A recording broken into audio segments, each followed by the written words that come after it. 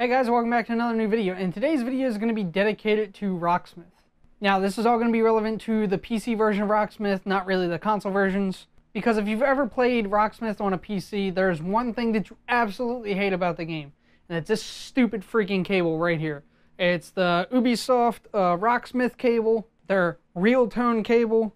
It has a quarter inch to USB, so that way you can plug your guitar into the computer which most of the time Windows does not recognize or it recognizes as something called Hawksmith. Uh, it's not exactly the right thing. The drivers just screw up constantly.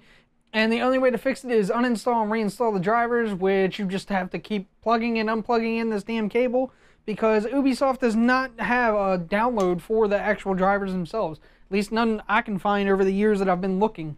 Uh, sometimes you got to plug it into a different USB port. Sometimes if you even leave it plugged into the same USB port, don't turn off your computer at all. You come back to it, you try to play the game, and it just doesn't work. So I'm going to show you a way to get rid of that stupid ass cable and still be able to play Rocksmith.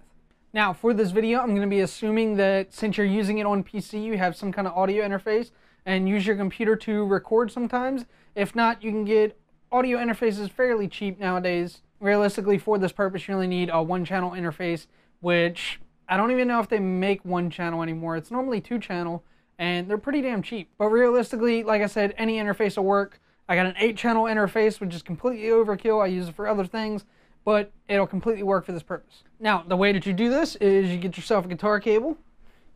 You get yourself your guitar, plug it in, plug it into the first channel on your interface. It has to be the first channel. For some reason, it would not work with any other channels. And you have to have your interface turned up kind of loud, just so that way I can get all the tones of the guitar. You almost want it redlining. And now for this next port, we're gonna go ahead and go over to the computer. Now, once you have your guitar plugged in, you're gonna wanna hit control, go down to where it says input, and you wanna change that to microphone. Now, what this is normally added into the game for is so you can play acoustic guitar with some of the songs, uh, you can plug in a microphone to your interface. Again, make sure it's plugged into input one, just because that's how it reads it. Go down, select your interface, mine's the Saffire Audio, and what you're gonna wanna do is turn your guitar up, and go ahead and strum it.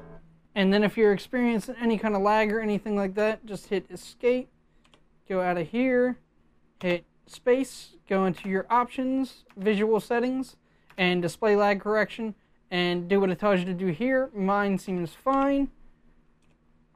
But then after that, you will see that if we go back here, actually you can probably see in the tuner right here if I strum, you can go ahead and see that the speakers are going, and you can see that I'm out of tune.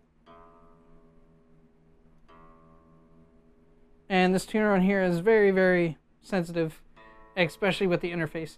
But yeah, it works fine for me. Hopefully it works great for you guys.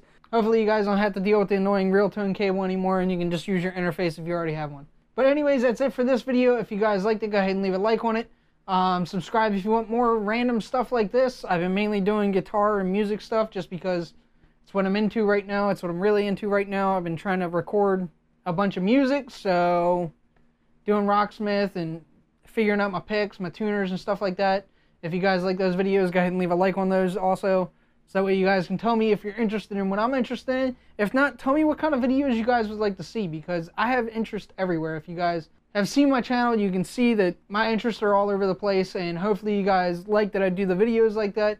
Uh, if not, let me know what kind of videos you guys want to see, but other than that, subscribe if you want more of these, and I will see you guys next time.